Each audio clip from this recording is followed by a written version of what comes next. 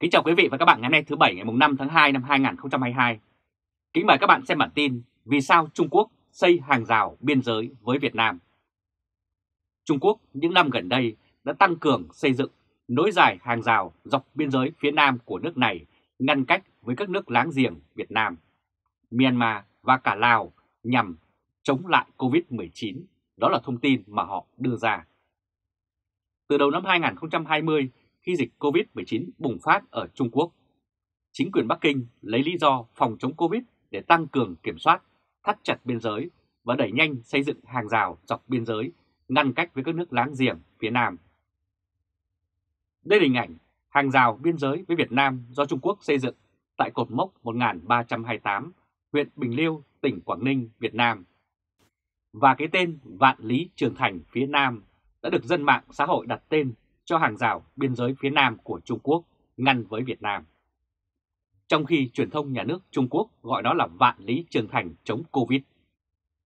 Bài báo Trung Quốc củng cố biên giới bằng vạn lý trường thành phía Nam đã viện dẫn lý do Covid-19. Đăng ngày 2 tháng 2 trên tờ báo Wall Journal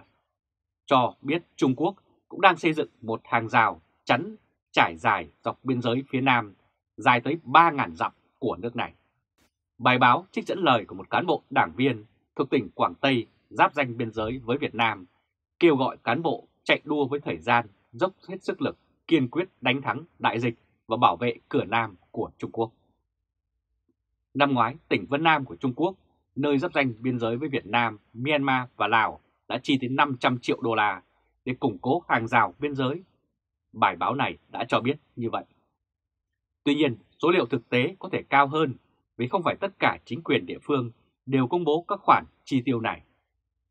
Không chỉ tiền bạc, Trung Quốc còn tăng cường nhân lực kết hợp mọi lực lượng trong nước, từ cán bộ nhà nước đến người dân, cùng tham gia kiểm soát hàng rào biên giới phía Nam. Chủ tịch tỉnh Vân Nam cho biết vào tháng 1 năm 2022 đã có 100.000 quan chức, công an, binh lính và dân thường được cử tham gia tuần tra biên giới. Không những lớn về mặt quy mô, hàng rào biên giới này còn được Trung Quốc trang bị dây thép gai cùng các trang thiết bị hiện đại như camera quan sát và thiết bị cảm ứng. Bên ngoài là để chiến đấu với Covid-19, nhưng vạn lý trường thành phía Nam có khả năng gây chia rẽ lâu dài về thương mại, du lịch. Bài báo đưa ra nhận định như vậy. Đây là hình ảnh hàng rào biên giới do Trung Quốc xây dựng nhìn từ xa hàng rào thép gai ngăn biên giới với Việt Nam. Năm ngoái, dọc theo biên giới của Trung Quốc với Việt Nam, một hàng rào cao tới 12 feet, tức là tương đương 3,6 mét. Đột ngột được xây dựng, cũng bài báo này cho biết như vậy. Tại tỉnh Quảng Ninh, nơi có dân tộc Giao sinh sống, giáp với tỉnh biên giới của Trung Quốc, một hàng rào thép gai xoắn nhọn và chắc chắn đan xen với dây thép gai cuộn được Trung Quốc dựng lên chạy suốt trên các đỉnh đồi dọc theo biên giới với Việt Nam. Hàng rào thép gai này cũng được trang bị camera theo dõi cùng thiết bị chiếu sáng, có vẻ như nó vẫn đang được phía Trung Quốc tiếp tục xây dựng thêm. Từ khi có hàng rào ngăn biên giới này, người dân Việt Nam không còn mạo hiểm sang chặt cây nữa. Bài báo phỏng vấn một người dân Việt Nam sống gần khu vực này cho biết như vậy. Nó căn ngăn cản người dân bản địa Việt Nam sang các vùng đất giáp danh Trung Quốc để thu hoạch ngô hoặc bán dược liệu. Hàng rào này ví như nhà tù, theo lời của người dân Việt Nam sống ở Lào Cai. Và hàng rào dây thép gai dường như cũng có phần kiểm soát đường biên nhằm ngăn chặn tình trạng buôn lậu, nhập cư, mặc dù Bắc Kinh luôn cho rằng hàng rào biên giới này là để ngăn cản Covid, mà nước này vẫn luôn theo đuổi chiến lược không Covid. Tại cuộc họp báo vào ngày 20 tháng 12, vì tình hình ùn tắc xe hàng của Việt Nam xảy ra cửa khẩu với Trung Quốc Tham tán thương mại Hồ Tỏa Cẩm của Trung Quốc cũng nói về việc Việt Nam cần đẩy nhanh đàm phán nghị định thư, tức là hiện bị đình trệ, về xuất khẩu chính ngạch sang Trung Quốc, tức là hàm ý các mặt hàng tiểu ngạch bị đình trệ một phần do số phía Việt Nam. Đây là hình ảnh dòng xe tải chở nông sản nối đuôi nhau dọc theo đường ra cửa khẩu Tân Thanh. Thông tin về hàng rào biên giới với Việt Nam và Trung Quốc từ Bộ Công Thương Việt Nam được đài báo nước này bình luận là bất ngờ. Trước đó, trên trang BBC tiếng Việt cũng đưa tin về tình trạng ùn tắc hàng hóa Việt Nam ở cửa khẩu với Trung Quốc như sau. tới ngày 26 tháng 12 năm 2021, tình trạng hàng hóa từ Việt Nam mắc kẹt ở biên giới Trung Quốc vẫn tiếp tục. Với hơn 5.000 container tắc ở biên giới, dù Việt Nam đã có 50 cuộc hội đàm với phía Trung Quốc. Theo tờ báo Việt Nam Net đưa tin, tính đến ngày 21 tháng 12 đã có khoảng 6.000 xe vận chuyển, chủ yếu là xe hàng hóa nông sản từ Việt Nam sang Trung Quốc, đang phải nằm chờ tại các cửa khẩu biên giới phía Bắc. Việt Nam Net cũng ghi nhận một vạn tài xế Việt Nam vật vã ở biên giới trong tháng cuối năm vì xe hàng của họ bị kiểm tra chặt, khó nhập cảnh vào Trung Quốc. Tình trạng ùn tắc xảy ra trong một tháng trở lại đây chủ yếu ở các cửa khẩu Hiếu Nghị, Tân Thành, Chi Ma thuộc tỉnh Lạng Sơn và một số điểm thuộc tỉnh Quảng Ninh. Ông Âu Anh Tuấn, Cục trưởng Cục Giám sát Bảo Quản lý về Hải quan cho biết nguyên nhân chính là do Trung Quốc tiếp tục chính sách Zero Covid, tức là không có Covid, tờ tuổi trẻ online đưa tin. Theo đó, một số cửa khẩu như Tân Thành, Hiễu Nghị, phía Trung Quốc cũng yêu cầu xe hàng Việt Nam phải có lái xe chuyên trách, tức là phải tiêm đủ hai mũi vaccine, xét nghiệm COVID-19 bằng phương pháp PCE định kỳ 3 ngày mỗi lần. Lái xe không được xuống xe khi sang Trung Quốc và phải về ngay trong ngày, niêm phòng cabin xe. Do đó, lượng thông quan hàng hóa chỉ đáp ứng từ 20 đến 25% so với bình thường, theo tờ báo Quân đội Nhân dân của Việt Nam chia sẻ.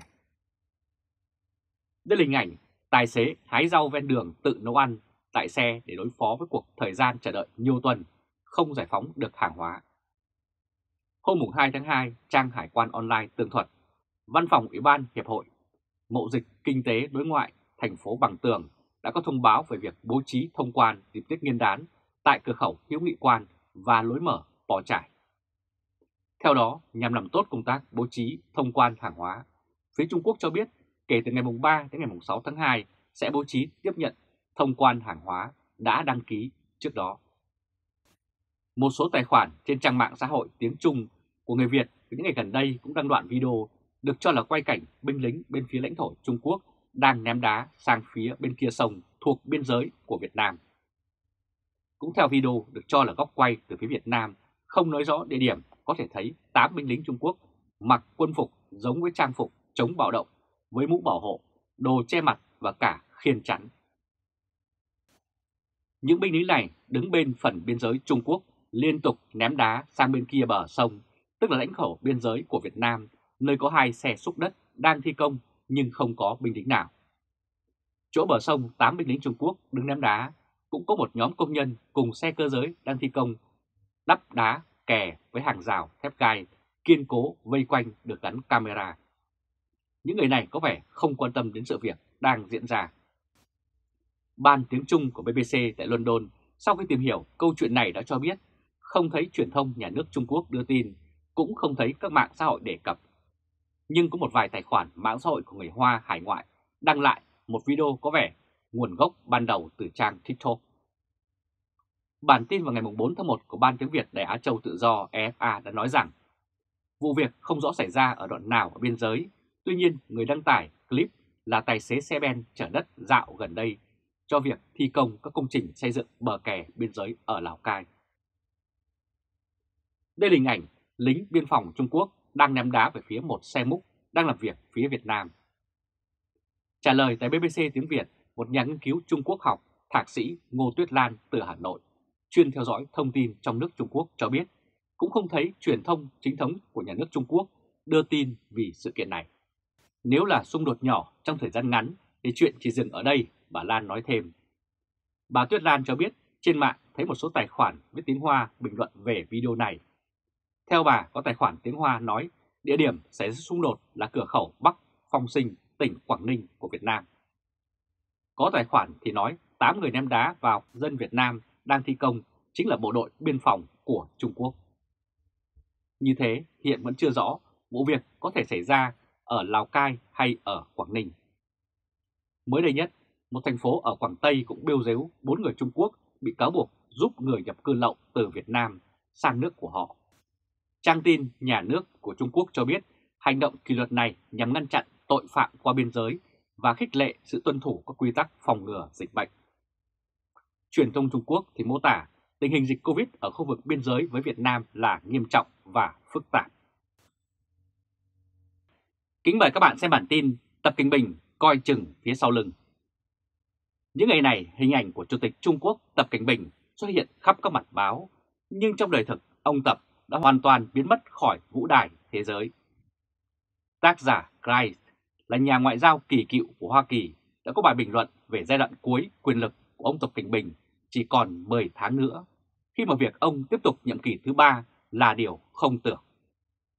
Bài viết đăng trên tạp chí Foreign Policy do thân hữu Việt Studio chuyển ngữ. Kiên trì bám trụ ở Bắc Kinh hơn 700 ngày, ông Tập đã không xuất hiện tại Đại hội đồng Liên Hợp Quốc năm ngoái, tại Hội nghị Thượng đỉnh G20 ở Rome và Hội nghị Thượng đỉnh về khí hậu của Liên Hợp Quốc ở Glasgow, Scotland. Đây là hình ảnh Chủ tịch Trung Quốc Tập Cảnh Bình phát biểu tại cuộc họp của Tổ chức WHO vào hôm 18 tháng 5 năm 2020. Sự vắng mặt của ông Tập xảy ra giữa lúc ông và Đảng Cộng sản Trung Quốc đang phải đối diện với những khó khăn trầm trọng ở trong nước, bao gồm tình trạng thiếu năng lượng tràn lan, tỷ lệ thất nghiệp và gia tăng và thị trường bất động sản trên bờ vực sụp đổ. Thời thế rõ ràng đã thay đổi so với trước đại dịch COVID-19 khi ông Tập khoe khoang một cách tự tin về việc đưa ra một trật tự toàn cầu mới, lấy Trung Quốc làm trung tâm. Việc ông Tập từ chối ra nước ngoài phản ánh rõ mong muốn nhiệt thành của ông ấy là luôn sẵn sàng khống chế bất kỳ đợt bùng phát mới nào của virus corona và tác động dây chuyền của nó đã làm tê liệt sản xuất công nghiệp của Trung Quốc. Nhưng chỉ riêng đại dịch thì không thể giải thích được việc ông Tập đã từ chối bỏ trống chiếc ghế quyền lực của mình hay tạm thời gác lại những tham vọng quốc tế lớn lao của ông ta. Thay vào đó, những tuyên bố mới nhất của ông Tập là một dấu hiệu thì có một điều đó khác khiến ông thức trắng đêm, đó là nỗi lo sợ ngày càng tăng về phản ứng chống lại sự cai trị của ông ta từ các phe phái bên trong của Đảng Cộng sản Trung Quốc. Nói một cách rõ ràng, khi nền kinh tế Trung Quốc gặp khó khăn và vị thế toàn cầu của nó sụp đổ, ông Tập nhanh chóng nhận ra rằng sau gần một thập niên cầm quyền, đòi hỏi của ông về lòng trung thành tuyệt đối trong Đảng Cộng sản Trung Quốc tốt nhất cũng chỉ là chuyện viển vông, còn tệ nhất là sự điên cuồng. Và đó là nguyên nhân chính gây ra lo ngại chưa đầy 10 tháng nữa thì Đại hội Đảng lần thứ 20 của Đảng Cộng sản Trung Quốc sẽ diễn ra. Trong đó, ông Tập dự kiến sẽ đảm nhận nhiệm kỳ thứ 3 trong chức vụ Tổng Bí thư của Đảng. Một điều có thời là không thể tưởng tượng được. Nếu bạn mềm yếu, cuối cùng mọi người sẽ chết. Ông Tập đã cảnh báo vào tháng 11 năm ngoái như vậy. Đây là hình ảnh trong một cuộc thương chiến giữa Mỹ và Trung Quốc căng thẳng đến nay, dường như ông Tập đã vượt lên trên sau khi ông Tổng thống Trump thất cử và đại dịch COVID-19 đã bao trùm cả thế giới. Những lời cảnh báo mơ hồ như vậy hầu như không thể hiện sự nắm chắc quyền lực một cách tự tin của một nhà lãnh đạo, nhưng chúng vẫn nổi bật trong các bài diễn văn quan trọng của ông Tập tại Hội nghị Trung ương lần thứ 6, một cuộc tập hợp quan trọng của giới tinh hoa Đảng Cộng sản Trung Quốc. Nhưng có lẽ nhận được sự mất đoàn kết trong hàng ngũ, ông Tập đã thẳng thừng cảnh báo rằng các bè phái, băng đảng và nhóm lợi ích trong đảng sẽ cương quyết bị điều tra và trừng phạt. Về mặt này, ông Tập đã hứa không khoan nhượng các quan chức Đảng Cộng sản Trung Quốc nào đặt mình lên trước sự đoàn kết của Đảng. Lời cảnh báo vào tháng 11 của ông Tập vẫn được giữ kín cho đến ngày đầu năm mới năm 2022, khi các đoạn trích từ chính bài diễn văn của ông Tập được đăng trên tạp chí lý luận hàng đầu của Đảng Cộng sản Trung Quốc. Đó là tạp chí Cầu Thị. Thời điểm bài diễn văn được phát hành hơn 6 tuần sau Hội nghị Trung ương Đảng cũng không đơn thuần là chuyện tình cờ. Thay vào đó, nó được đưa ra với dự định gửi một lời đe dọa rõ ràng đến các thành viên của Đảng Cộng sản Trung Quốc vào ngày đầu tiên của một năm, có thể là năm tự đắc nhất của ông Tập Cảnh Bình. Và thông điệp đó là hãy đứng vào hàng ngũ trong năm nay, nếu không thì ông Tập đã có giọng điệu thẳng thắn tương tự tại một sự kiện vào đầu tháng 12 năm 2021 khi ông phê chuẩn chiến lược bảo vệ an ninh quốc gia của chính phủ ông. An ninh quốc gia là một thuật ngữ trong tiếng quan thoại, chủ yếu được dùng để mô tả các mối đe dọa từ bên trong nước đối với tính hợp pháp của Đảng Cộng sản Trung Quốc, hơn là các thách thức quân sự hoặc địa chính trị. Đây là hình ảnh ông Chủ tịch Trung Quốc Tập Cận Bình chủ trì một cuộc họp của Quốc vụ viện sự tập trung của ông Tập về an ninh của chế độ cũng đưa ra trong một buổi họp hồi cuối tháng 12, có mặt gần như mọi thành viên của Ủy ban Thường vụ của Bộ Chính trị, cơ quan ra quyết định cấp cao nhất của Trung Quốc. Ông Tập cũng yêu cầu tất cả những người có mặt cam kết bảo vệ thẩm quyền của cơ chế lãnh đạo tập trung, thống nhất của Đảng. Nói một cách khác, ông đòi hỏi các nhà lãnh đạo Đảng phải chứng minh lòng trung thành cá nhân của họ đối với chính ông. Lời giải thích đơn giản cho việc ông Tập từ chối rời Trung Quốc và sự thúc đẩy lòng trung thành quá mức gần đây của ông là ông Tập nhận ra mình ngày càng dễ bị tổn thương. Đó là cho đến năm 2021, mặc dù nền kinh tế Trung Quốc đã hạ nhiệt được một thời gian nhưng tăng trưởng đã chậm lại đáng kể trong những tháng cuối năm ngoái. Có thể theo dõi các áp lực suy giảm này đối với việc quản lý tài chính yếu kém của ông Tập, bao gồm hàng loạt quy định sâu rộng của ông nhằm kiềm chế sự mở rộng vốn đầu tư một cách mất trật tự, không chỉ trong lĩnh vực công nghệ mà còn trong toàn bộ nền kinh tế của Trung Quốc. Các yếu tố khác bao gồm việc đóng cửa các nhà máy như là một phần của chính sách Zero COVID-19, tức là không có COVID-19, cũng như giá nguyên liệu và nhân công tăng cao. Bất kể là nguyên nhân gì, sự chậm lại đột ngột rõ ràng của nền kinh tế đã khiến Đảng Cộng sản Trung Quốc lo sợ. Và đáng lo ngại hơn nữa, cơ quan thực thi pháp luật hàng đầu của Trung Quốc gần đây đã nhận xét rằng với suy thoái kinh tế, một số vấn đề sâu xa có thể xuất hiện. Đây là hình ảnh các nhà ngoại giao chiến lang của Trung Quốc dưới thời ông Tập Cận Bình. Một bài phát biểu gần đây của Tập, cựu đại sứ Trung Quốc tại Washington, ông Thôi Thiên Khải, đã thu hút được sự quan tâm lớn trong giới chính trị và ngoại giao của Trung Quốc. Đã sử dụng những từ như bất cần hoặc kém năng lực, ông Thôi đã gióng lên hồi chuông cảnh báo về vị thế toàn cầu đang bị sói mòn của Bắc Kinh và khả năng ngày càng tăng của Washington trong việc hạn chế tham vọng của Trung Quốc. Trong một lời chỉ trích gay gắt về cái gọi là ngoại giao chiến làng mà ông Tập đã tung ra, ông Thôi lưu ý Trung Quốc không nên chiến đấu một cuộc chiến mà chúng ta không chuẩn bị, một cuộc chiến mà chúng ta không chắc thắng, một cuộc chiến giận dữ và tiêu hào sinh lực. Cụ thể hơn, ông Thôi đã cảnh báo rằng mỗi đồng lợi nhuận mà dân tộc chúng ta kiếm được đều có sức khó khăn mới có và chúng ta không được để chúng bị cướp đoạt bởi bất kỳ ai hoặc bị tổn thất do sự bất cẩn, lười biếng và kém cỏi của chúng ta. Bản chất ngày càng lộ rõ của chiến dịch thúc đẩy chống tham nhũng bề ngoài của ông Tập cũng cho thấy một đảng dường như đang đối đầu với chính mình. Các cuộc thanh trừng của Mao thường bừa bãi nhắm vào cả những người bạn cũng như kẻ thù không đồng tình với ông ta. Ông Tập cũng thúc đẩy sự trong sạch của đảng, chủ yếu nhằm vào những người kế nhiệm tiềm năng và các đối thủ chính trị của mình. Một trường hợp điển hình đó là trong tuần vừa qua, một bản án tử hình đã được dành cho Đồng Hồng, trợ lý thân cận của Phó Chủ tịch Trung Quốc Vương Kỳ Sơn, một đối thủ của ông Tập. Đây là hình ảnh Thứ trưởng Công an Trung Quốc Tôn Lập Quân đã bị bắt vì nhận tiền hối lộ khổng lồ để thao túng thị trường chứng khoán. Gần đây, một số quan chức cấp cao khác, một số người đã được ông Tập lựa chọn cẩn thận cũng bị cách chức vì những vi phạm nghiêm trọng liên quan đến tham nhũng. Trong số này có cựu Thứ trưởng Bộ Công an Tôn Lập Quân, cựu Bộ trưởng Bộ Tư pháp Phó Chính Hòa và Phó Chủ tịch Chính quyền khu tự trị Tây Tạng Trương Vĩnh Thạch. Các quan chức hàng đầu khác của Đảng Cộng sản Trung Quốc bao gồm cả cựu Phó Bí thư tỉnh Quý Châu Vương Phú Ngọc và Bí thư thành phố Hàng Châu Chu Giang Dũng cũng đã bị Ủy ban Kiểm tra Kỷ luật của Trung ương, cơ quan giám sát kỷ luật hàng đầu của Đảng, bắt giữ vì tội tham nhũng. Vẫn chưa rõ liệu ông Tập có loại bỏ Ủy viên Bộ Chính trị nổi tiếng Lật Chiến Thư sau vụ bê bối bất động sản gây tranh cãi liên quan đến con gái của Lật hay không. Chưa kể đến cựu Ủy viên Bộ Chính trị Trương Cao Lệ, người bị ngôi sao quần vợt Bành suý, cáo buộc tấn công tình dục gần đây. Trong khi cuộc thanh trừng Đồng Hồng phù hợp với vở kịch của Tập, một số cuộc thanh trừng khác đã gài bẫy các quan chức không chỉ do Tập đưa lên mà còn là những người có phẩm hạnh được ông Tập đích thân khẳng định. Những bước phát triển này đặt ra nhiều câu hỏi hơn là câu trả lời. Ở mức tối thiểu, chúng ta thấy sau gần 10 năm tại vị, sự lèo lái Đảng Cộng sản Trung Quốc của ông Tập vẫn là một công việc 落座